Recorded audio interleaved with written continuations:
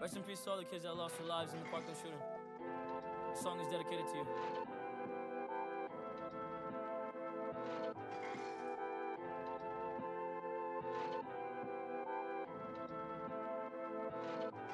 Okay, she keep going,